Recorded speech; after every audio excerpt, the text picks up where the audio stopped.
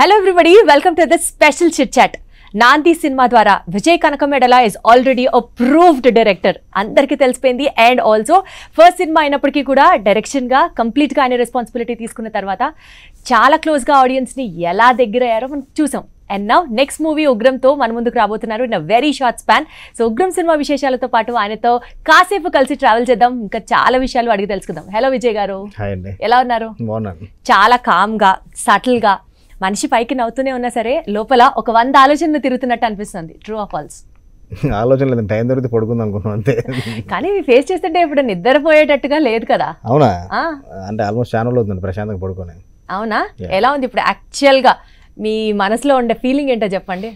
Cinema రిలీజ్కు దగ్గర పడింది. అంటే టైం దొరికితే కొంచెం గట్టిగా తినేసి పడుకుందాం అనుకుంటున్నాను. ఏంటండి మీ ఫేవరెట్ ఫుడ్ ఏంటి? ఫేవరెట్ వెజ్ నాన్ వెజ్ ఏదైనాండి? Hmm. ఫిష్ అంటే ఎక్కువ ఇష్టం.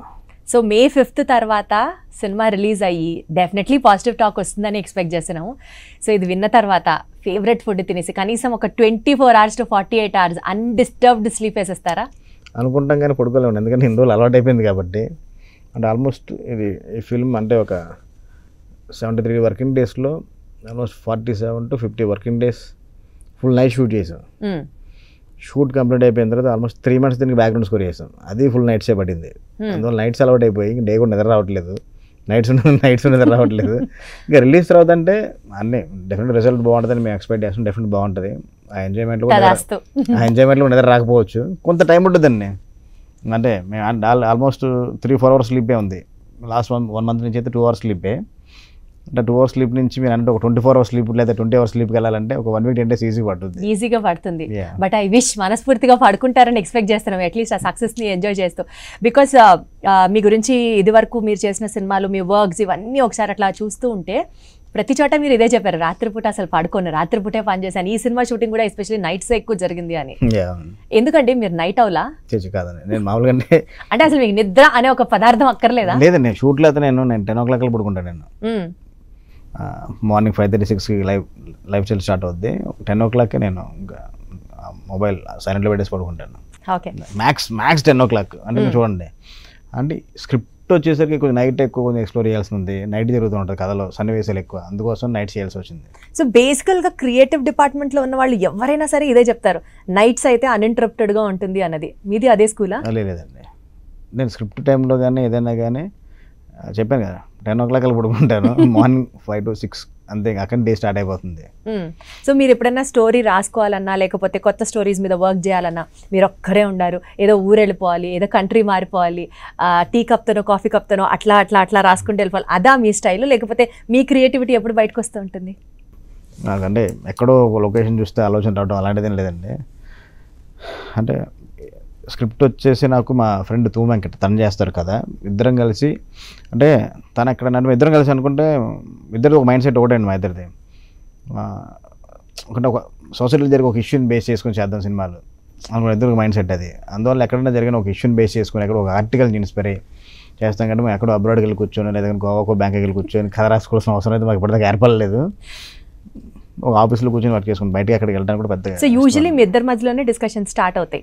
అంటే స్టార్టింగ్ స్టేజ్లో ఇద్దరం కలిసి ఒక లైన్ దీన్ని చేద్దాం అనుకున్న తర్వాత దాని గురించి డెవలప్ చేసిన తర్వాత మా డైరెక్షన్ డిపార్ట్మెంట్ అందరం కూర్చొని అందరూ కూడా నా ఫ్రెండ్సే మా డిపార్ట్మెంట్ అందరూ విన్నాను అందరూ మీ ఫ్రెండ్స్. అందరూ చడ్డి బడ్డీ గ్యాంగా అండి? లేకపోతే ఇండస్ట్రీకి వచ్చిన తర్వాత ఇండస్ట్రీకి వచ్చిన తర్వాత ఎన్నాళ్ళ ఫ్రెండ్షిప్ మీది? ఆల్మోస్ట్ అందరూ ఫిఫ్టీన్ ఇయర్స్ ట్రావెల్ అండి. ఫిఫ్టీన్ ఇయర్స్ కలిసి ట్రావెల్ చేశారు. సో తిట్టుకున్నా అరుచుకున్నా దాని తర్వాత కలిసి అందరం కలిసి భోన్ చేసిన మొత్తం ఈ పదిహేను మందితోనే ఉంటుంది. వీళ్ళందరూ ఒక ఫ్యామిలీ లాగానా? ఆ, పదిహేను మంది కదండి ఫిఫ్టీన్ ఇయర్స్ అవుతుంది. 15 years. ఆ, ఒక సిక్స్ టు సెవెన్ మెంబర్స్ అంతే. చాలా క్లోజ్ వాళ్ళ పేర్లు చెప్పండి. మధు శేఖర్ రామచంద్ర ఇంకో ఇంకో పేరు అత- అతను కూడా రామచంద్ర అనే జనార్దన్. వెంకట్. అదే వెంకట్. గారి పేరు చెప్పలేదు వెంకట్ అంటే ఇప్పుడు నాతో ట్రావెల్ అవుతున్నాడు. కదా ఇద్దరు కలిసి స్టార్ట్ చేసాం కదా రవి. సో ఇప్పుడు మీరు చెప్పిన అన్ని పేర్లలో who is more close to you close to అంటే అందరూ రండి ఎందుకంటే అందరూ మధు గారి పేరు చెప్తే వెంకట్కి కోపం వస్తుంది. వెంకట్ గారి పేరు చెప్తే రామచంద్ర కోపం వస్తుందా? అలానే కాదు. అంటే నేను మా- బ్యాచ్ మొత్తానికి శేఖర్ అంటే మా ఫ్రెండ్ అనమాట తను అందరికన్నా పెద్దోడు. మేము తను పెద్ద అయినా పెద్ద అయినా కూడా ఏడిపిస్తూ ఉంటాం. మా ఏజ్ గ్రూప్ అందరికన్నా తను పెద్దోడు అందరికన్నా ఏజ్ గ్రూప్ నేను చిన్నోడు నేను మా మా టీంలో ఆయన ఎక్కువ విషయాలు తనతో మేము షేర్ చేసుకునే వాళ్ళం. తను మాకన్నా కొంచెం లైఫ్ కొంచెం ఎక్కువ ఎక్స్ప్లోర్ చేశాడు సో కాబట్టి మీ టీం పెదరాయుడు కాబట్టి ఎక్కువ తనతో ఎక్కువ ఇలా అనుకుంటున్నా ఇలా అనుకుంటున్నా ఇలా అనుకుంటున్నా తనతో అందరూ కూడా అందరూ తనతో ఎక్కువ డిస్కస్ చేసేవాళ్ళు. అందువల్ల తను క్లోజ్ అనుకోవచ్చు ఓకే సో శేఖర్ గారు is very close to you అని నాకు అర్థమైంది. ఫైన్ అసలు ఈ ఫస్ట్ సినిమా మీ నాంది గురించి మీ జర్నీ చూసుకుంటే అండి నాంది కోసం probably you must have had a very tough time ఎందుకంటే అప్పటి వరకు మూవీ ఫీల్డ్లో ఉన్నప్పటికీ కూడా మీకు మంచి గుర్తింపుని తీసుకొచ్చింది నాంది సినిమా అని చెప్పొచ్చు. అప్పటి వరకు జర్నీ ఎలా ఉంది? దాని తర్వాత after it is already proved cinema to be hit Ugram ఎలా ఉంది? అంటే బిఫోర్ నాంది అందరు నేను ఒక రెగ్యులర్ కమర్షియల్ సినిమా చేస్తాను అనుకున్నారు. ఎందుకంటే అన్ని కమర్షియల్ ఫిల్మ్స్ వర్క్ చేశాను నేను. అందువల్ల అందరూ కూడా ఒక మంచి కమర్షియల్ సినిమా తీస్తారు అనుకున్నారు. కానీ ఒక కంటెంట్ బేస్ చేసుకొని దాని కమర్షియల్ వేలు చెప్పిన తర్వాత అందరూ నన్ను చూసే పర్స్పెక్టివ్ మారిపోయిందండి. నన్ను చూసే విధానం కూడా మారిపోయింది. అది ఎక్కువ కిక్ ఇచ్చింది నాకు.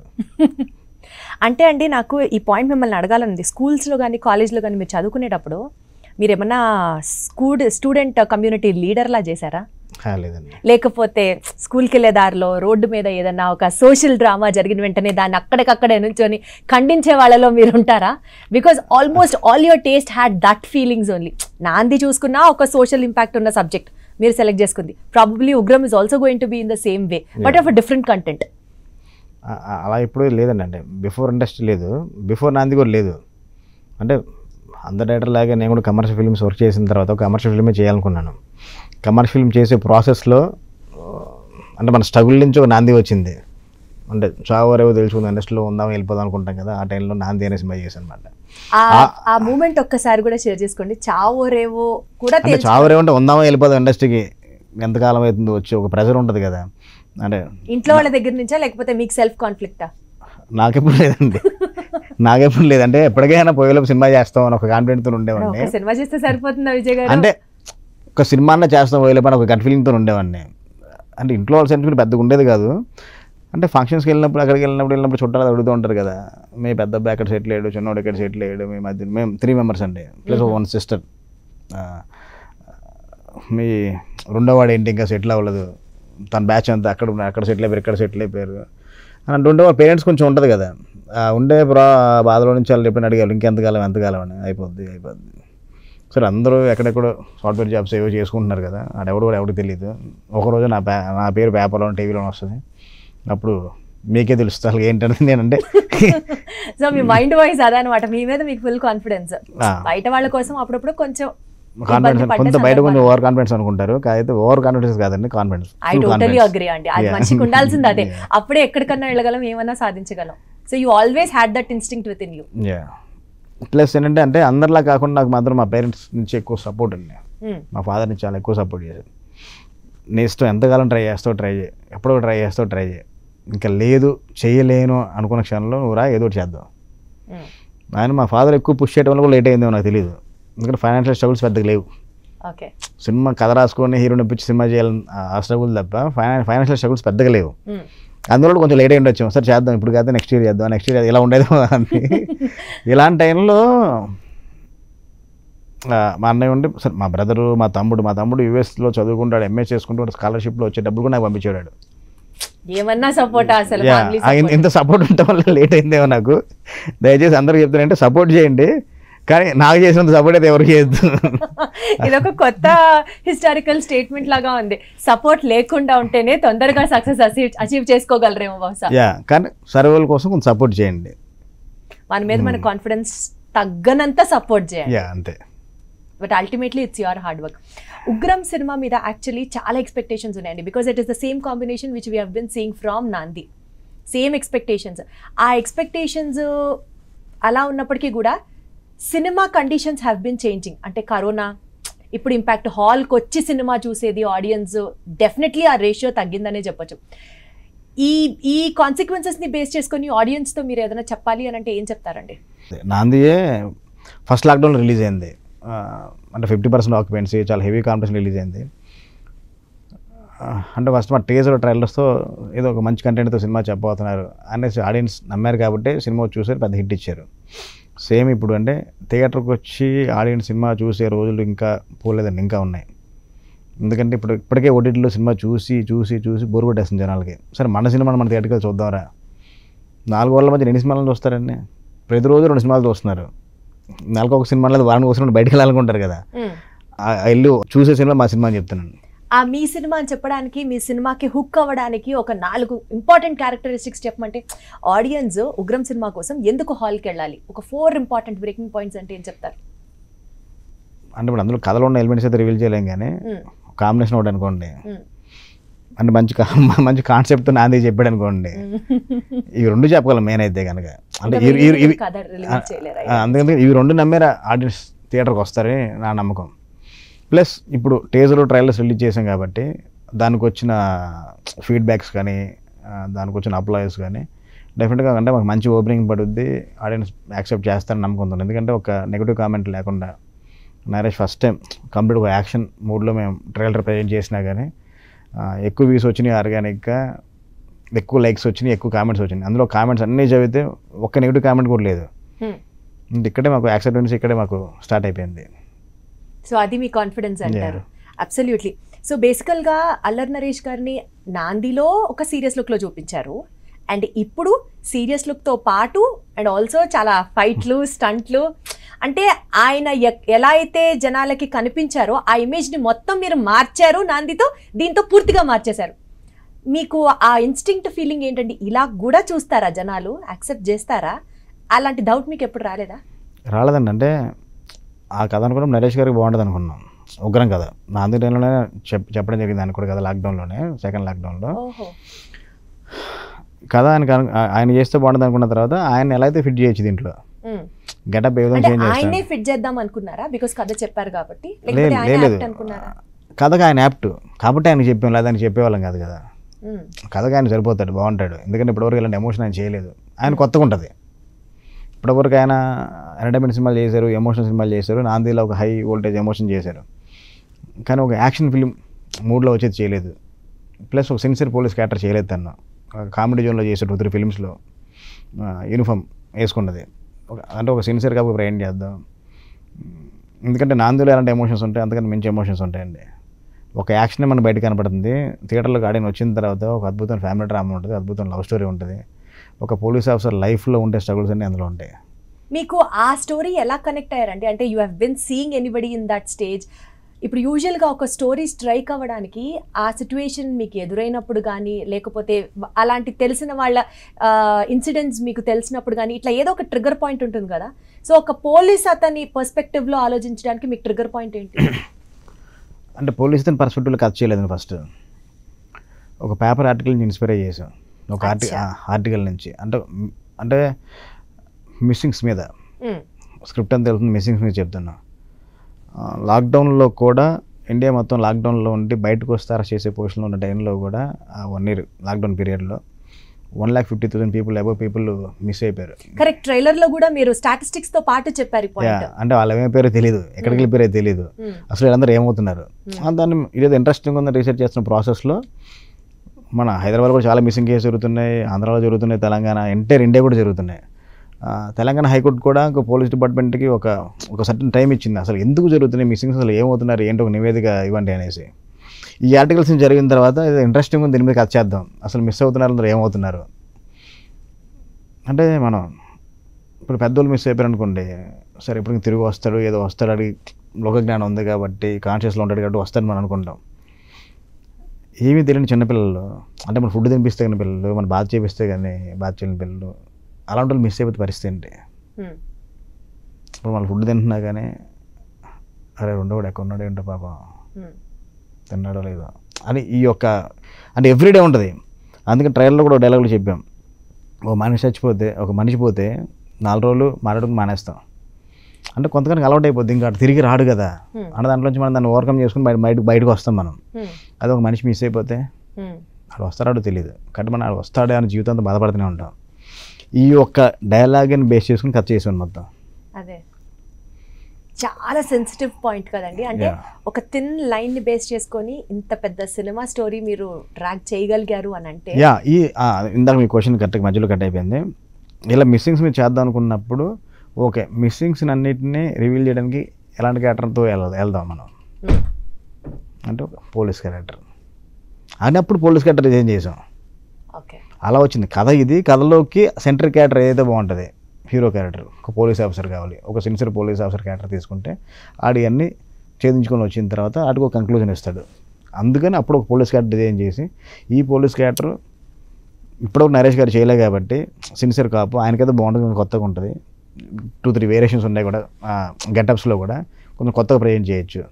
ప్లస్ మనకి చాలా కంఫర్ట్ నాంది చేస్తున్నప్పుడు బాగా సింక్ అయిపోయాడు. మనకి ఏం కావాలన్నా మేబీ పాయింట్ నెంబర్ టూ చీ, అలానే కాదు. డామినేట్ చేసిందేమో పాయింట్ ఎక్కువ టైం కదండి నాంది ఫస్ట్ అయిపోయి కథ చెప్పే ఉండేది. నాంది ఫస్ట్ అయిపోయిన తర్వాత లాక్డౌన్ ఆ లాక్డౌన్లోనే ఇలాగ అక్కడక్కడ ఇన్సిడెంట్స్ చూసిన తర్వాత కరోనా టైంలో కూడా మిస్సింగ్ కేస్ అని ఆర్టికల్ చూసిన తర్వాత అప్పుడు మేము రీసెర్చ్ రీసెర్చ్ స్టార్ట్ చేసి లాక్డౌన్ అయిపోయే టైంకి ఒక ఫార్టీ ఫైవ్ మినిట్స్ నేరేషన్లో కథ చేసాం. సెకండ్ షెడ్యూల్ అవుతున్న టైంలో కథ చెప్పాం అనమాట ఓకే ఇమీడియట్లీ చేద్దాం అన్నారు. అక్కడ మేము రీసెర్చ్ స్టార్ట్ చేసి అంతా ఫినిష్ చేసి నాంది తర్వాత ఆయన ఫిల్మ్ చేశారు ఇలా మేము స్క్రిప్ట్ అంతా రెడీ చేసుకున్నాం. అలా అలా షూట్ స్టార్ట్ చేసాం. సో బేసికల్గా మీ ఇద్దరి మధ్యలో బాగా సింక్ అయ్యాయి మీ థాట్స్ మీ కెమిస్ట్రీ బాగుంది అని అంటే కొన్ని మూమెంట్స్ ఏదైనా షేర్ చేయండి. అంటే ఎలా మీకు అనిపించింది? లైక్ అల్లర్ నరేష్ అయితే పర్ఫెక్ట్ అల్లర్ నరేష్ గారితో అయితే సింక్ అవుతాం ఇంకా బాగా ట్రావెల్ చేస్తాం ఇంకా బాగా కథ మంచిగా వస్తుంది. అంటే నేను ఎప్పుడు అనుకోలేదు ఆయనతో సినిమా డైరెక్ట్ చేస్తున్నప్పుడు అనుకోలేదు. ఎందుకంటే నాకు నాంది ముందు కూడా పరిచయం ఆయన. అంత క్లోజ్ కాదు కానీ అప్పుడప్పుడు కలుస్తుండే వాళ్ళం కామన్ ఫ్రెండ్స్ ఉన్నారు. కామన్ ఫ్రెండ్స్తో మీట్ అయ్యే వాళ్ళం పార్టీస్లో మీట్ అయ్యే వాళ్ళం. ఎప్పుడు సినిమా చేస్తాను ఎప్పుడు అనుకోలేదు మేము. ఇద్దరం కాంబినేషన్లో సినిమా. ఎప్పుడు కూడా మాట్లాడుకోలేదు అలాగే నాంది ఒక ఆర్టికల్ నుంచి ఇన్స్పైర్ అయ్యి వెంకట ఇలాంటి కథ చేద్దాం. ఒక తప్పు చేయని వాడికి ఒక జైలు శిక్ష పడితే వాడు కాదు గిల్ట్ కాదని ప్రూవ్ చేసుకుని బయటకు వస్తే వాడు ఏం చేయగలడు? Hmm. అంటే ఇది బాగుంది. సరే దీని మీద బేస్ చేసుకుని చేద్దాం బాగుంది. సరే మనం డూ ఆర్ డై సిచ్యువేషన్లో ఉన్నాం కదా మనం తెలుసుకుంది ఇలాంటి దాంతో కొడితేనే మనం అంటే ప్రూవ్ చేసుకునే అవకాశం ఉంటుంది. అన్న దాంట్లో నుంచి నాకు అర్థమైంది ఏంటంటే మీరు ప్రతి ఆపర్చునిటీని డో డైగా తీసుకుంటారు. అందుకనే Yeah. సీరియస్గా వర్క్ చేస్తారేమో బహుశా అలా స్టార్ట్ చేస్తాం నాంది. కథ స్టార్ట్ చేస్తున్న టైంలోనే ఈ కథ ఇలా ఇలా ఎన్ని ఎమోషన్స్ ఉంటాయి ఎలా ఉంటాయి తప్పు చేయనోడు అన్యాయం ఇరుక్కుపోయాడు ఓకే ఒక ఎమోషన్ వల్ల మంచి పర్ఫార్మర్ అయి ఉండాలి స్టార్ ఇమేజ్ ఉండకూడదు. అందరికి నచ్చే హీరో అయి ఉండాలి. అప్పుడు ఎవరు? నరేష్ గారితో బాగుంటుంది. ఎమోషన్ అద్భుతంగా చేస్తాడు. ఓకే. నాందిలో చూసాం ఆయన ఎమోషనల్ సైడ్ యా నాంది నా- నాంది ముందు నా- preparation కే యా, మాట్లాడుతున్నారు. Yeah, Naandhi preparation. అలా నరేష్ గారితో కనెక్ట్ అయ్యాం. ఆ సినిమా చేస్తున్న ప్రాసెస్లో ఒక డైరెక్టర్కి ఏం కావాలో హండ్రెడ్ పర్సెంట్ ఎఫర్ట్ పెట్టి పని చేస్తారు ఆయన. అసలు నువ్వు చెప్పడు. ఏ షార్ట్ కావాలి నువ్వు చెప్పడు అసలుకి. నాందిలో క్లైమాక్స్ అప్పుడైతే ఫుల్ బ్లడ్తో ఉంటాడు. ట్వెల్వ్ ఓ క్లాక్ చెప్పాను ఆయనకి. మీరు ట్వెల్వ్ ఓ క్లాక్ రండి బ్లడ్తో రెడీగా ఉండండి. వితౌట్ బ్రేక్తో మీరు ఫినిష్ చేద్దాం ఈవినింగ్ వరకు. బిఫోర్ ట్వెల్వ్ ఓ క్లాక్ మీరు బ్రేక్ఫాస్ట్ చేసేయండి. అంటే ఒక బ్రంచ్లో తినేయండి అని చెప్పాను అలాంటిది నాకు లేట్ అయిపోయింది ఆ రోజు అంటే ట్వెల్వ్ ఓ క్లాక్ వచ్చారు రెడీ అయిపోయారు. మొత్తం బ్లడ్ అంతా తీసుకున్నారు ఫొటోస్ అని పంపించారు. మేకప్ వచ్చి ఓకేనా ఓకేనా అని సరే ఇక్కడ ఏంటి ఇక్కడ ఇక్కడ మొత్తం చెప్పాం. ఫుల్ బ్లడ్ చైర్లో ఇలా కూర్చున్నాడు అంతే. ఇలా అనుకోలేదు కూడా మొత్తం ఫుల్ అంతా బ్లడ్ ఉంది. నేను బిఫోర్ చిన్న బిట్ బిట్ సీన్ ఒకటి చేయాలి. అది లేట్ అయిపోయి లేట్ అయిపోయి లేట్ అయిపోయి ఈవినింగ్ ఫోర్ థర్టీ వరకు చేశా. ట్వెల్వ్ నుంచి ఫోర్ థర్టీ వరకు అలాగే. చైర్లో అలాగే కూర్చొని ఇలాగే ఉన్నాడు ఆయన. ఫోర్ థర్టీ వరకు చేసి ఫోర్ థర్టీకి షార్ట్ అని పిలిచి నా అందులో కోర్టు బొన్లో పడిపోయి ఉంటాడు కదా. ఆ షార్ట్ తీసి ఎక్స్టీరియర్కి వచ్చేద్దాం అనుకుంటే లైట్ డల్ ప్యాకప్ అన్న. అబ్బా. ఏం మాట్లాడలేదు. ఏమి మాట్లాడలే. అసలు ఏం అనలేదు. ఏమి అసలు ఎందుకు ఇంతసేపు వెయిట్ చేయించి అసలు ఇంతసేపు ఏంటి అని. పక్కన అందరూ ఎంతసేపు వెయిట్ చేయించి ఒక షార్ట్ తీసి ప్యాకప్ చెప్పండి కొన్ని షార్ట్లు తీస్తే నీకు పోయేదే ఉంది. అది పనికిరావు తీసిన లైట్ డల్ అయిపోయింది. ఏం చేస్తాం? ఇప్పుడు ఆయన మెప్పు కోసం నేను తీయలేను. ఆయన అర్థం చేసుకుంటే ఓకే ప్రాబ్లం లేదు. అర్థం చేసుకోకపోతే నేను ఎక్స్ప్లెనేషన్ నేను ఇస్తాను. నన్ను కానీ ఆయన అసలు అర్థం చేసుకుంటే అసలు ఏ రోజు క్వశ్చన్ కూడా వేయలేదు అలాగే అలాగే డైరెక్టర్కి ఏం కావాలో అది కంప్లీట్ అది హండ్రెడ్ పర్సెంట్ ఇవ్వడం కోసం ట్రై చేస్తారు ఆయన. ఏమైందండి ఉగ్రంలో కూడా ఒక సీక్వెన్స్లో చాలా పెద్ద సీక్వెన్స్ అది. ఒక రెయిన్ ఎఫెక్ట్లో ఉంటుంది సీక్వెన్స్ మైనస్ మైనస్ అండి సారీ ఎయిట్ డిగ్రీస్ టెంపరేచర్లో షూట్ చేసిన రెయిన్ ఎఫెక్ట్ ఉమ్. జాన్లో ఫుల్ చలి అవుట్స్కట్స్ కొల్లూరు రోడ్లో. అందరూ వద్దన్నారు. మా ప్రొడక్షన్ దగ్గర నుంచి మా డిపార్ట్మెంట్ దగ్గర నుంచి అందరూ వద్దన్నారు. నైట్లో రెయిన్ ఎఫెక్ట్ అసలు ఏంటి ఈ వింటర్లో అసలు అసలు వద్దు డే ఫర్ నైట్ చేసుకో అవసరం అయితే ట్రైన్ కావాలంటే. లేదు వితౌట్ ట్రైన్ అయితే నైట్ అయినా చేసుకోపర్లేదు ఇంత కాంప్లికేట్ ఎందుకు పెట్టుకుంటున్నావు అంటే లేదు నేను వాంటెడ్ దట్ యా సరే హీరో అడిగితే నేను మారుద్దామా అసలుకి? అంటే ఈ టైంలో షూట్ మనం షూట్ చేయలేము అది. ఇప్పుడు షూట్ చేయకపోతే తర్వాత గెటప్ మార్చాలి అన్నీ చాలా ఉన్నాయి మనకి. ఇంకా లేట్ అయిపోద్ది మూవీ ఏం చేద్దాం ఏంటనే మీరేమనుకుంటున్నారండి అందరూ ఇలా అంటున్నారు? మీరేమనుకుంటున్నారు సార్ మీరు నా స్క్రిప్ట్ చేసినప్పుడు స్క్రిప్ట్ చెప్పినప్పుడు ఒక నైట్ ఎఫెక్ట్లో ఎక్కడి నుంచి ఒక ఇంటర్వల్ వరకు ఒక మూడు ఉంటుంది. ఆ మూడు క్యారీ అవ్వాలి కదా. ఎక్కడ వరకు మూడు క్యారీ అయ్యి ఆ సీక్వెన్స్కి వచ్చే టైంకి రెయిన్ ఎఫెక్ట్ లేకపోతే ఇంపాక్టే ఉంటుంది. మీరు అనుకున్న మూడు క్యారీ అవ్వదు కదా. లేదని రెయిన్ ఎఫెక్ట్లోనే చేద్దాం. The only hero who stood beside the director yeah full short air ఉంటుంది. బేర్ ఫుడ్తో ఉంటాడు. రెయిన్లో షూట్ చేయాలి ఎయిట్ డిగ్రీస్ టెంపరేచర్ అందరేమో మొత్తం అన్ని జర్కిన్లు జాకెట్లు ఎన్ని వేసుకుని కప్పుకొని ఇలా ఉంటే మీరు కూడా అలాగే ఉండుంటారు నేను అలా వెళ్ళలేదు. మీరు హీరో గారికి ఫేవర్గా ఉన్నారు? ఫేవర్గా అంటే ఫేవర్గా కావాలని వెళ్ళింది కాదు. ఉండదు కదా. ఫేవర్ కావాలేదు కదా. ఈ అంటే ఆఫ్టర్నూన్ టూ ఓ క్లాక్ వెళ్ళి లైటింగ్ కాల్ షీట్ లైటింగ్ అంతా చేస్తున్నారు. సో చెక్ చేసుకుందాం నాలుగు షార్ట్తో వెళ్ళిపోయాను. అక్కడి నుంచి షూటింగ్ స్టార్ట్ చేసే ప్రాసెస్లో స్లిప్పర్స్తోనే షార్ట్ టీ షర్ట్తోనే ఉన్నాను. అంటే క్యారవాన్కి వెళ్ళి డ్రెస్సింగ్ చేసుకుని టైం కూడా లేకుండా అయిపోయింది. ఇంకా ఆ రోజంతా అలాగే కంటిన్యూ అయిపోయాను. మీకు చలి లేదండి? అవ్వలేదు. చలి లేదు అంటే. వర్క్ మూడ్లో ఉన్నప్పుడు అది కొంచెం తెలియదు నాకు కొంచెం అంటే చలి ఆకలి నిద్ర అలా అలాంటివి పెద్దగా అనిపించు ఆకలి అయితే వేస్తుంది కొంచెం టైంకి అయితే తినాలనిపిస్తుంది. మిగతావి అయితే నాకు నిద్ర సో మీరు హీరో గారు ఇద్దరు మాత్రమే ఆ టెంపరేచర్ని అట్లా సస్టైన్ అవుతూ అలాగే షార్ట్ కోసం ఉండిపోయారు. అంటే అంటే మాతో పాటు ఫైటర్స్ కూడా అండి. ఆయనకి ర్యాసలు చూపించడం కోసం సేమ్ అదే రోప్ షాట్స్ వాళ్ళు రోప్ వేసుకుని ర్యాసలు చేయాలి. ఫోర్ ఫైవ్ టైమ్స్ ర్యాసలు చేయాలి వాళ్ళు. వాళ్ళు చాలా కష్టపడ్డారు. మిగతా వాళ్ళందరూ కొంచెం ఆ, వామ్ వేర్స్ అన్నీ వేసుకున్నా కానీ వాళ్ళు మాత్రం ఇప్పుడు మళ్ళీ ఒక రోప్ షాట్తో ఒక ర్యాసలు చూపించాలి. వాళ్ళు జాకెట్స్ అన్ని వేసుకుని చూపించలేరు కదా. హీరో ఎలాంటి పొజిషన్ ఉంటే అలాంటి పొజిషన్లో చూపించాలి. మా ఫైట్ మా స్ట్రాంగ్ రెస్ట్కి వాళ్ళ ఫైటర్స్కి అందరికి కూడా నేను స్పెషల్ థ్యాంక్స్ చెప్పాలి ఆ విషయంలో. అదొక సీక్వెన్స్. ఇంకో ఇంకో పెద్ద సీక్వెన్స్ ఉంటుంది యాక్షన్ బ్లాక్. అందులో ఫుల్ బ్లడ్ షెడ్తో ఉంటాడు సేమ్ నాంది. మళ్ళీ ఆ సీన్ రిపీట్ చేశారు. అలా అలా రిపీట్ Scenes అంటే ఇష్టం అలా రిపీట్ అంటే కథలు అలా అలా వచ్చినాయండి అంతే. ఒక పోలీస్ ఆఫీసర్ వెళ్ళి ఒక దానికి వెళ్ళినప్పుడు అక్కడ అటాక్ చేస్తే ఒక బ్లడ్ షెడ్ అయిపోయి ఎలా ఫైట్ ఇది మీ చెప్పేది ట్రేడ్ మార్క్ అయిపోతుందేమో. ప్రతి సీన్లో ప్రతి సినిమాలో ఒక బ్లడ్ షెడ్ సీన్ ఉంటుందేమో. అక్కడ కూడా ఏంటంటే ఆ యాక్షన్ సీక్వెన్స్లో నోట్లో బ్లడ్ ఐలో బ్లడ్ ఇంతకుముందు మనకు ఐలో బ్లడ్ ఉండేది కదా. నోట్లో మీద బ్లడ్ వేసుకున్నప్పుడు కొత్తగా వచ్చిందన్నమాట. ఐలో బ్లడ్ వేస్తే ఒక ఫైవ్ సెకండ్స్ మొత్తం అయ్యంతా రెడ్డిష్ అలాగే ఉంటుంది. ఒక లిక్విడ్ లిక్విడ్ ఉంటుంది అనమాట సేమ్ మన ఆర్టిఫిషియల్ బ్లడ్ లాంటిది. Hmm. అలా ఇచ్చిన షా ఇచ్చిన ఎవ్రీ షాట్కి వేసుకోవాలి ఆయన. Hmm. అలా లెవెన్ డేస్ షూట్ చేసాం. ఏమీ మాట్లాడకుండా ఏమి మాట్లాడుకున్నా అంటే ఒక్కొక్క దాకా నేను ఓకే అన్నా కానీ ఆయన లేదు వన్ మోర్ చేద్దాం అప్పుడు నాకు కోపం వచ్చేది. అరే మమ్మల్ని ఏదైనా అయితే ప్రాబ్లం కదా ఏదైనా అయితే ప్రాబ్లం కదా అని దాంట్లో. అంటే డైరెక్టర్కి ఏం కావాలో అసలు కాంప్రమైజ్ అవ్వకుండా చేస్తాడు. ఇంకో అంటే చెప్పుకుంటూ పోతే చాలా. ఇంకొక సీక్వెన్స్ ఉంది. అందులో స్మోక్ చేయాలన్నమాట ఆ సీక్వెన్స్ ఒక యాక్షన్ సీక్వెన్స్లో ఆల్మోస్ట్ ఒక ఫోర్ డేస్ చేసాం. ఆ యాక్షన్ కంటిన్యూ కోసం స్మోక్ చేసి చేసి చేసి చేసి ఆల్మోస్ట్ ఒక three to four hundred cigarettes smoke చేస్తుంటాడు ఆ ఫోర్ డేస్లో ఎంత డెడికేషన్ ప్లస్ అంతా అదొక ఫారెస్ట్ అంబియన్స్లో షూట్ చేస్తున్నాం. ఒక మొత్తం ఫుల్ ఆల్రెడీ ఒక టెన్ టు ట్వెల్వ్ స్మోక్ మిషన్స్తో మొత్తం ఫిల్ చేస్తాం అన్ని చాలా ఉన్నాయండి. ఈ సినిమా కంటే ఆయన కష్టపడింది కష్టం మామూలు కాదు. నాందికి అయితే చాలా తక్కువ అనుకోవాలి. నాంది చూసే మీరు ఇంత కష్టపడి అనుకున్నారు కదా. దీంతో చూసుకుంటే నాంది నథింగ్ అసలుకి. ఇంకొక యాక్షన్ సీక్వెన్స్ అయితే మొత్తం ఫుల్ ఒక కలర్ ప్యాలెట్లో చేసాం. ఆర్జీబీ కలర్ ప్యాలెట్లో. దానికైతే ఆల్మోస్ట్ ఒక twenty four smoke machines use చేసాం అనమాట మనం ఈ జిహెచ్ఎంసీలో కూడా ఉంటాయి కదా పెద్ద మిషన్స్. అవి ఒక ఎయిట్ మిషన్స్ తెప్పించి కూడా యూజ్ చేసాం స్మోక్ ఆక అనమాట అంటే మొత్తం మొత్తం మన చుట్టూ మొత్తం ఇంకా స్మోకే ఇంకా. అదొక ఫోర్ డేస్ ఏం చేసాం ఫుల్ నైట్స్. ఆ ఫోర్ డేస్ పాప అందరూ దగ్గర దగ్గర దగ్గర చచ్చిపోయిన బాగా చాలా తిట్టుకున్నారు. ఏంటి సినిమా అయిపోయిన తర్వాత షూటింగ్ అంతా అయిపోయిన తర్వాత మేబీ మీ క్రూ ఎంత హ్యాపీగా ఫీల్ అయి ఉంటారో సినిమా అయిపోయిందిరా బాబు అనుకొని అంత ఈ.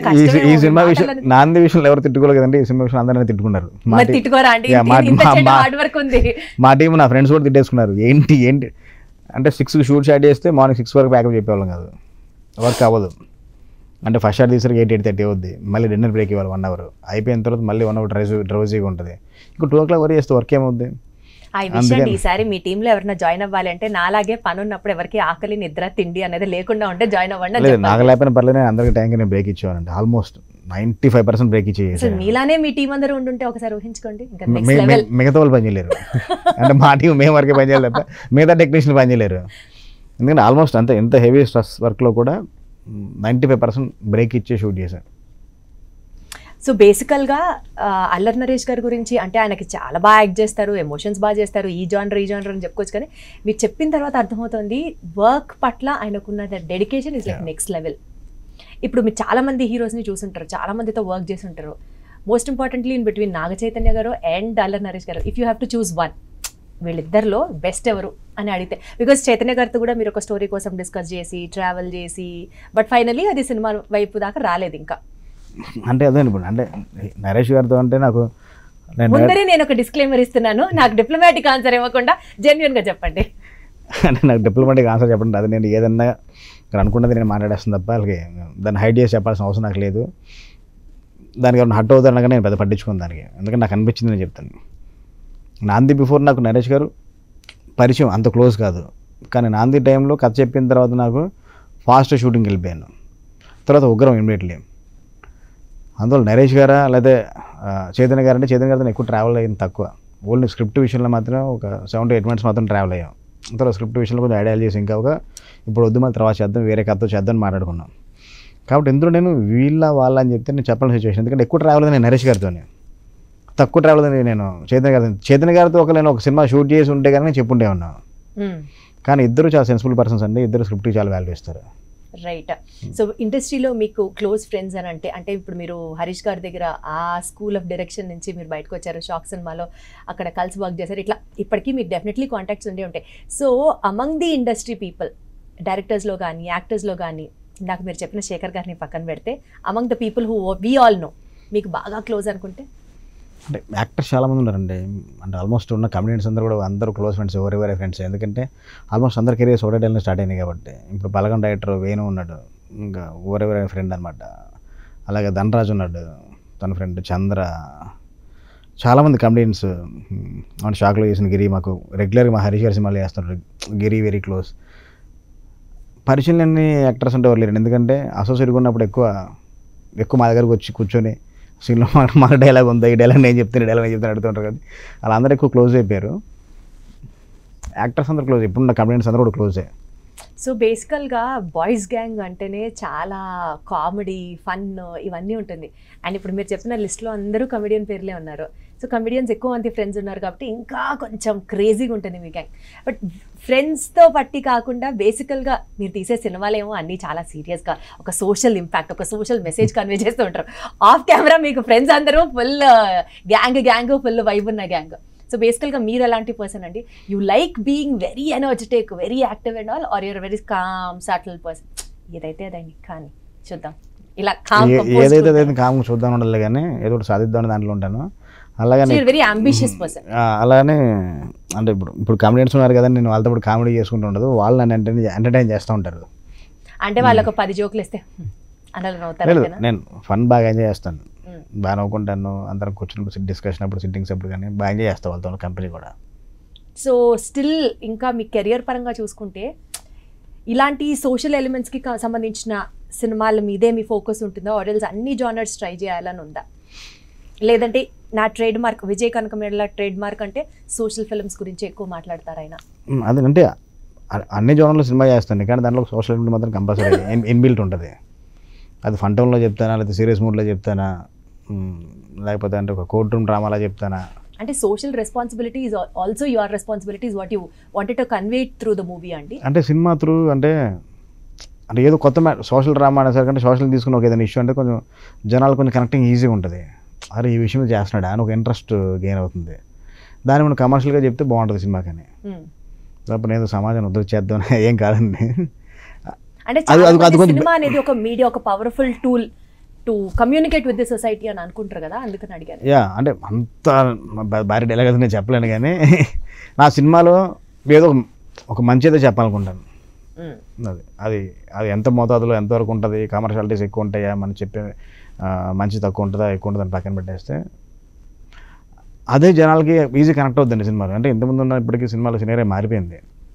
రెగ్యులర్ కమర్షియల్ సినిమాలు చెప్తే నాలుగు ఫైట్లు ఐదు పాటలు చేస్తే ఎవరో చూసే సిచ్యువేషన్ లేరు. ఇప్పుడు పెద్ద హీరో సినిమాలు చూసుకున్నా కానీ త్రీ సాంగ్స్ ఫోర్ సాంగ్స్ వచ్చేసినాయి. ఇంకా ఉంది కొంచెం సాంగ్స్ కట్ వన్ అయిపోయి ఒక టూ సాంగ్స్ ఇలా వచ్చేస్తాయి. ఒక థీమ్ సాంగ్ ఒక టూ సాంగ్స్ ఒక ఇంట్రడక్షన్ సాంగ్ ఒక డివేట్ సాంగ్ ఇలా వచ్చేసే రోజులు కూడా ముందు ఉందన్నాయి ఇంకా. ఉగ్రంలో ఎన్ని పాటలు ఉన్నాయి అయితే ఒకరిలో త్రీ సాంగ్స్ అన్నీ. త్రీ సాంగ్స్ సో మీరే తగ్గించేశారు ఫస్ట్ ఆఫ్ ఆల్ తగ్గించండి కథకు అంతవరకు అవసరం. కథకు అంతవరకు అవసరం. ఒకటేమో ఉగ్రం టైటిల్ ట్రాక్ ఒకటేమో హీరో లవ్ సాంగ్ ఒకటి. అందులో కథే రన్ అవుతూ ఉంటుంది. అన్ని మౌంటేజ్లో ఉంటుంది ఎక్కడ డ్యాన్స్లు మూమెంట్స్ అలాంటివి ఉండవు సో స్టోరీ సెంట్రిక్గా ఆ, సినిమా తీస్తున్నప్పుడు అండి మ్యూజిక్ డెఫినెట్లీ చాలా ఇంపార్టెంట్ ఒక పైవటల్ రోల్ ప్లే చేస్తుంది. And that to that should be very different from the regular genre of songs walk to listen మీ సినిమాలో మ్యూజిక్ ఎంత స్పెషల్ ఉగ్రం సినిమాలో? అదేనంటే నా సినిమాలో ఉన్న సాంగ్స్లో కూడా నేను చెప్పాను కదా. ఆ త్రీ సాంగ్స్ కూడా కథను ముందు తీసుకెళ్ళే సాంగ్స్ ఉన్నాయి. మ్మ్. తప్ప కథను బ్రేక్ చేసి ఇక్కడ ఇద్దరు మధ్య డ్యూయట్ కావాలి ఇంకోటి అలా క్రియేట్ చేసినవి కాదు. ఒక సాంగ్ లవ్ సాంగ్ అది కూడా వాళ్ళ లవ్ జర్నీ అందులో కథలో ఒక ప్రోగ్రెషన్ ముందు తీసుకెళ్ చెప్పే విధంగా ఉంటుంది. ఇంకో సాంగ్ వచ్చేసరికి ఫ్యామిలీ సాంగ్. హీరో హీరోయిన్ వాళ్ళకి ఒక డాటర్ ఉంటుంది ఒక త్రీ అండ్ హాఫ్ ఇయర్స్ పాప ఉంటుంది. వాళ్ళతో ఒక ఎంజాయ్మెంట్ సాంగ్ అంటే ఒక పోలీస్ ఆఫీసర్ లైఫ్లో ఒక ఫ్యామిలీకి టైం కేటాయించలేనాడు ఒక అకేషన్కి వెళ్తే ఒక ఫ్యామిలీతోనే వాళ్ళు ఎలా కొంచెం అవుట్ అవుతారు.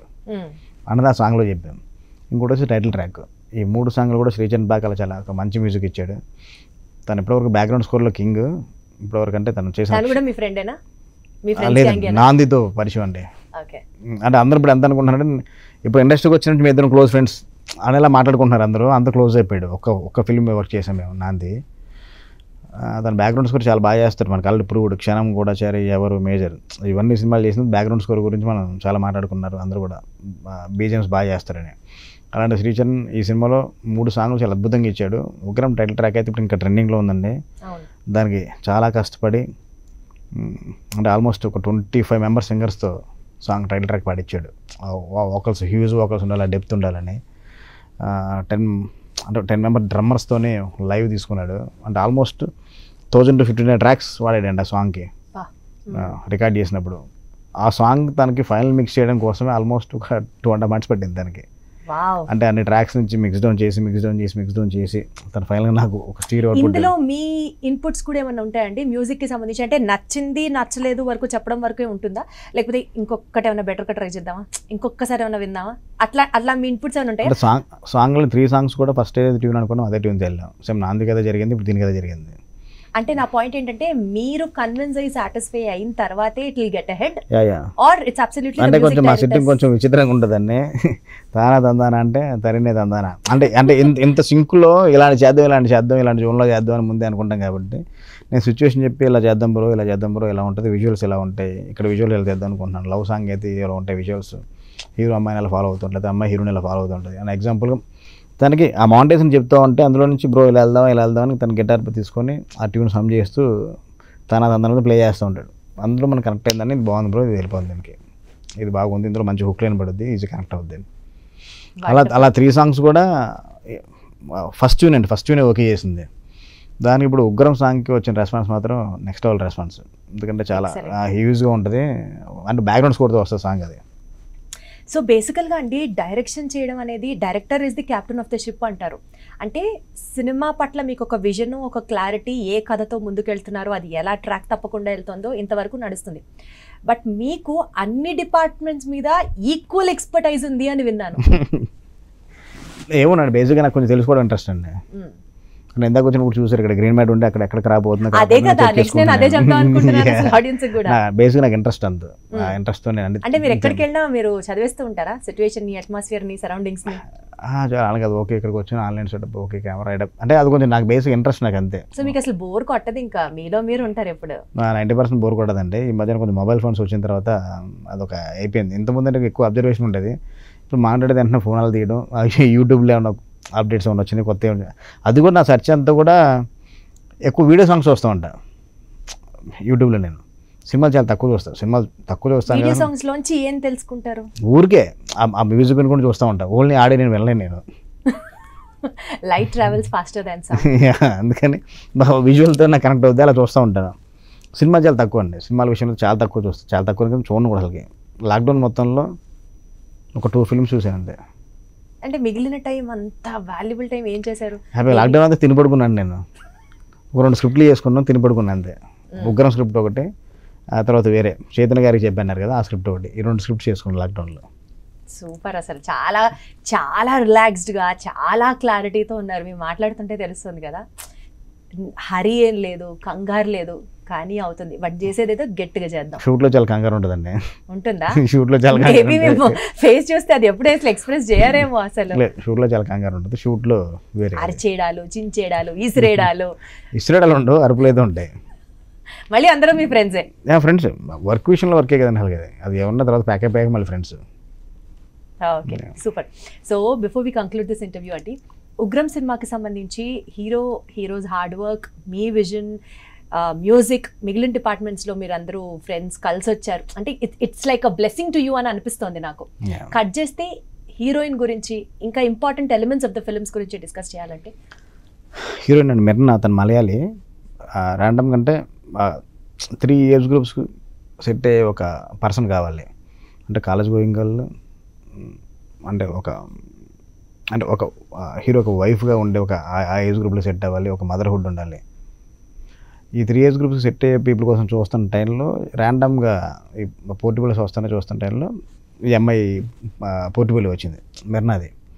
చూసి బాగానే ఉంది. త్రీ ఏజ్ గ్రూప్స్ మ్యాచ్ ఎలా ఉందని ఒకసారి హైదరాబాద్ పిలిపించాం. ఒక సినిమాలో ఒక కీ సీన్ ఉంటుంది. ఆ కీ సీన్ ఇచ్చాం ఫస్ట్ ఆడిషన్కి అందులో ఒక ఫోర్ ఫైవ్ ఎమోషన్స్ మిక్స్ చేసి చేయాలన్నమాట. అంటే ఒక బాధ ఒక ఆవేశం క్రోధం ఒక నిస్సాయిత. ఇవన్నీ నాలుగు తను ఆ సీన్లో పొట్రేట్ చేయాలి. అది ఇచ్చి ఒక హాఫ్ అన్ అవర్ టైం ఇచ్చి నేర్చుకోమని మోడలేషన్ చెప్పాను. మోడలేషన్ చెప్పేసి వచ్చి నా రూమ్లో కూర్చొని మేము మాట్లాడుకుంటున్నాం స్క్రిప్ట్ గురించి స్క్రిప్ట్ గురించి. నా కొడేటర్ మధు ఆ ఫ్రెండే చెప్పాను. తను హ్యాండ్ క్యామ్ తీసుకొని షూట్ చేశాను షూట్ చేసి పరిగెత్తుకుంటూ వచ్చి విజయ్ అద్భుతం చేస్తుంది అమ్మాయి చాలా బాగుందంటే. మా మాడు కొంచెం ఎగ్జా ఎగ్జాగరేషన్ ఎక్కువ అనమాట కొంచెం బాగున్నా కానీ ఇంక నెక్స్ట్ అనుకుంటా ఉంటాడు. సార్ ఎందుకు అలా చెప్పాము సార్? ముందు ల్యాప్టాప్లో కాపీ చేసి చూద్దామని ల్యాప్టాప్లో పెట్టుకుని కాపీ చేసి చూస్తుంది చూస్తుంటే అమ్మాయి ఎక్స్ప్రెషన్స్ కానీ ఎమోషన్స్ కానీ చాలా బాగా చాలా చేసింది. చాలా బాగా పోటీ చేసింది. వెంటనే మనం చేస్తున్నాం మనం.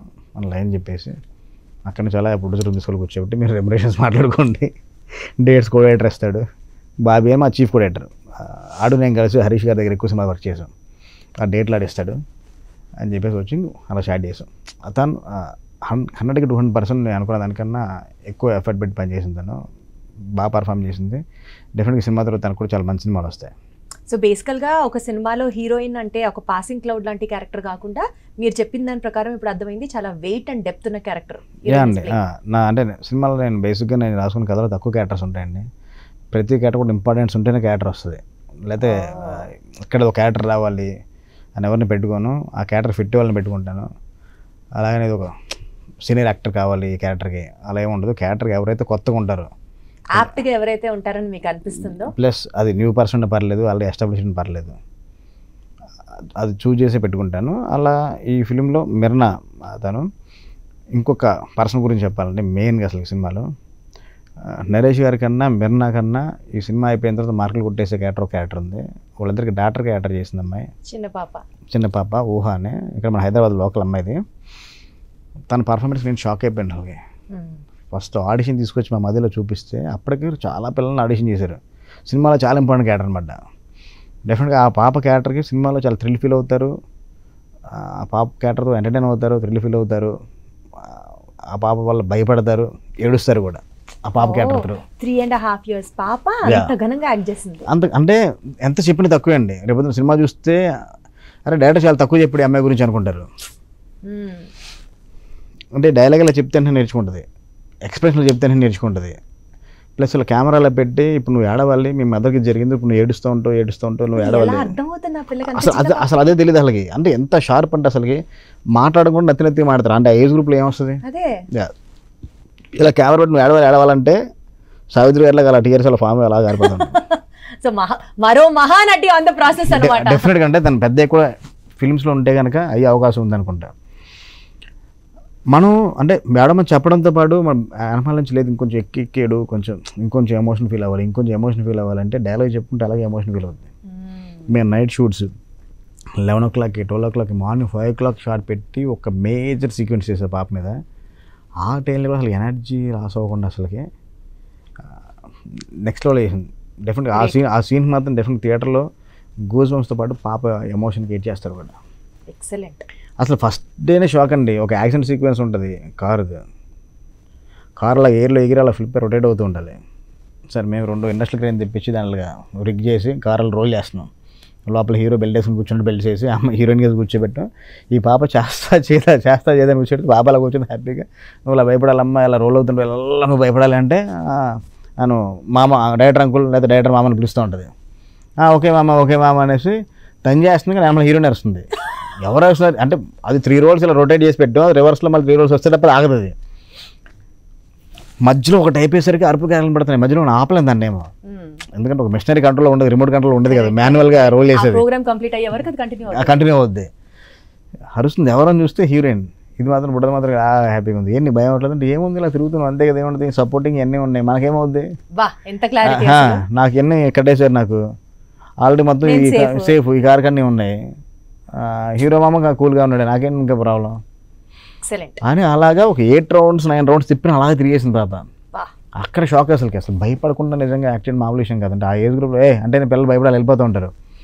అలాంటిది వంద ఒక ఒక act నాలుగు ఐదు వందల మంది క్రౌడ్ ఒక సీక్వెన్స్ అంతమంది మధ్యన అసలుకి అందరు సైలెంట్గా ఉంటే పాప యాక్టివ్గా వచ్చి ఒక ఒక యాక్టివిటీ చేయాలి అక్కడ. అసలు ఎంత ధైర్యంగా చేసింది నేనే షాక్ అసలుకి. సూపర్ అసలు. అసలు మనం ఒక ఐదు వందల మంది ఉన్నామంటే అక్కడ యాక్టివిటీ చేయాలంటే మనం కొంచెం భయపడతాం అసలు. అంతమందిలో ఎలా వెళ్తాం ఏంటి అన్నది. అక్కడ యాక్టివిటీ చేయాలి. దాన్ని చాలా బాగా అంటే దానికి ఇంకా అంటే భయం తెలీదు. ఏమీ తెలియదు తనకి. తనకు తెలిసింది ఏంటి? డైరెక్టర్ చెప్పింది యాక్ట్ చేయడం. అది ఒకటే తెలుసు తనకి. వండర్ఫుల్ వండర్ఫుల్ ఇప్పుడు మీరు చెప్పిన ఎలిమెంట్స్ అన్ని స్క్రీన్ మీద చూద్దామని చాలా వెయిటింగ్ అండి. And most importantly before we conclude producers గురించి కూడా ఖచ్చితంగా మాట్లాడుకోవాలి. ఆ, ఎంత చెప్పని తక్కువ మా సాహు గారు పట్టి హరీష్ పెద్ది గురించి. ఫస్ట్ ఒక మా నాంది తర్వాత సినిమా చేద్దాం అనుకున్నాం. నాకు బిఫోర్ నాంది నుంచి పరిచయం నాకు. నేను డైరెక్టర్ ఆఫ్ ముందు నుంచే వాళ్ళ ప్రొడ్యూసర్స్ ఆఫ్ ముందు నుంచి కామన్ ఫ్రెండ్స్ త్రూ సహనాన్ని మాక్సిమం పరీక్షించారు మీరు అని ఒక టాక్ సహ- సహ- సహనాన్ని కాదండి. ఫస్ట్ బడ్జెట్లో అనుకున్నాం. ఆ బడ్జెట్ ఇంక్రీజ్ అవుతుంది. ఆ తర్వాత అప్పుడు ఇండస్ట్రీ స్ట్రైక్ షూట్ స్టార్ట్ అయ్యకముందే థర్టీ పర్సెంట్ డైలీ వేస్ పెరిగినాయి. కొంచెం బడ్జెట్ ఇంక్రీజ్ అయింది. అనుకున్న దానికన్నా బిజినెస్ ఎంత ఉంటుందో ఎలా ఉంటుందో తెలియదు. ఫస్ట్ మేము దిగే టైంకే ఓవర్ బడ్జెట్లో స్టార్ట్ చేసాం ఇది కేవలం మీ మీద నమ్మకంతోనే అని అనుకోవచ్చు కదండి? యా యా కంప్లీట్గా నా మీద కానీ స్క్రిప్ట్ అండి. స్క్రిప్ట్ యా స్క్రిప్ట్ తర్వాత షూట్ స్టార్ట్ చేసిన తర్వాత రెయిన్ బాగా డిస్టర్బ్ చేసింది మమ్మల్ని. ఒక ఫోర్ ఫైవ్ డేస్ అయితే షూట్కి వెళ్ళి ఒక వన్ అవర్ షూట్ చేసిన తర్వాత ఫుల్ రెయిన్తో అయిపోయిన వాళ్ళు ఉన్నాయి. ఆ ఫోర్ డేస్ కూడా వర్కింగ్ డేస్లో పడిపోద్ది. అందరికీ పే చేయాల్సిందే. అలా కూడా కొంచెం బడ్జెట్ పెరిగింది. అది కాకుండా కూడా టోటల్గా అనుకున్న వర్కింగ్ డేస్ కన్నా ఒక six seven days working days పెరిగింది. ఒక twenty two twenty five call sheets పెరిగినాయి. అది నా వల్లే. అంటే క్వాలిటీ కోసం యాక్షన్ నైట్ అంతా షూట్ చేస్తున్నప్పుడు యాక్షన్ చేస్తున్నప్పుడు బెస్ట్ పార్ట్ ఏంటంటే ఎక్కడ మీరు కాంప్రమైజ్ లేకుండా ఒక చిన్న రిగ్రెట్ కూడా లేకుండా you are able to do that. Able to complete that. అది part. అంటే ఇప్పుడు బడ్జెట్ పెరిగిందంటే నేను ఎవరి మీద తోసేయచ్చు కదా నేను. తోసలేను మీరే తీసుకుంటున్నారు రెస్పాన్సిబిలిటీ నాదే అని. అంటే నా గురించే పెరిగింది కదా నేను చేస్తాను పెరిగింది కదా ఇప్పుడు వర్కింగ్ డేస్ నేను నేను కంట్రోల్ తీయలేదు నేను. కానీ కొన్ని కొన్ని సార్లు న్యాచురల్ కెలామిటీస్ అలా జరిగినప్పుడు నోబడి ఆర్ ఆన్సరబుల్ కదా. అవును ఇప్పుడు రెయిన్ వల్ల కొంత డిస్టర్బెన్స్ జరిగింది కానీ మేజర్ జరిగింది నేను నా నేను నేను చేసేది ఆ ప్రాసెస్లో వర్కింగ్ డేస్ పెరగడం వల్ల నైట్ అనుకున్నాం క్యాలిక్యులేషన్లో చేద్దాం అనుకున్నాం అది సెట్ అవ్వలేదు మాకు. వర్కింగ్ డేస్ పెరిగినాయి అందువల్ల బడ్జెట్ పెరిగింది. బడ్జెట్ పెరిగిన పాపం ఏ రోజు కూడా డిస్కషన్ లేదు వాళ్ళు. అంటే ఒక్కసారి పెరుగుతుంది చూసుకోండి అంతే. ఒక్కసారి పెరుగుతుంది అనుకున్న దానికంటే కొంచెం పెరుగుతుంది చూసుకోండి. అంతే తప్ప అసలు ఎంత పెరుగుతుందో నాకు చెప్పలేదు. ఏంటంటే లాస్ట్ ఫిల్మ్ ఎండే వరకు కూడా చెప్పలేదు నాకు. చెప్తే ఇంత అయిపోతుందా అని నేనేమన్నా ఆ క్వాలిటీ మిస్ అయిపోతానేమో అన్న నా ఒక కాన్షియస్లోకి వచ్చేస్తున్న దాంతో డిజిట్ చెప్పకుండానే షూట్ అయితే ఫినిష్ చేయించారు. ఓన్లీ వేస్టేజ్ లేకుండా షూట్ చేస్తున్నాం ఖర్చు పెడుతున్నాం. మేము ఖర్చు పెట్టే దాంట్లో వేస్టేజ్ లేదు. క్వాలిటేటివ్ గానే జరిగింది జరిగింది. అన్నదాన్ని అయిపోయిన తర్వాత ఎంత అయిందంటే నేను షాక్ అయ్యా ఏంటంటే ముందు చెప్పాలి కదంటే ముందు చెప్తే మీరు కాన్షియస్ ఫీల్ అయిపోయి క్వాలిటీ మిస్ అయిపోద్ది అసలు మీకు అమౌంట్ కూడా చెప్పకుండా అలానే కంటిన్యూ చేశారు కంటిన్యూ కంటిన్యూ చేసి అయిపోయిన. తర్వాత అసలు మన ఎంత అయింది అనుకున్నారు? ఏముంది ఇలా అయింది అనుకుంటున్నానంటే అదే ఎంత అయింది అని ఒక డిజిట్ చెప్పారు. షాక్ నేను చెప్పచ్చా అది ఎంత అయింది అన్నది వద్దులేండి ఎందుకు మా అంటే ట్రేడ్ ట్రేడ్ ఎందుకు? ఇప్పుడు అంటే ఇప్పుడున్న పొజిషన్లో వచ్చే రెవెన్యూ కూడా చెప్పుకోవాలని పొజిషన్లో ఉన్నాం మన ఇండస్ట్రీలో ఎందుకంటే హండ్రెడ్ పర్సెంట్ జిఎస్టీలు కట్టి హండ్రెడ్ పర్సెంట్ పర్ఫెక్ట్ ట్యాక్స్లు కట్టే ఒక్క పీపుల్ ఇండస్ట్రీ మాత్రమే బయట. మిగతా వాళ్ళ గురించి నేను కామెంట్ చేయకూడదు కానీ అలా అలాంటి వాళ్ళ మీద ఎక్కువ పడిపోతూ ఉంటాయండి.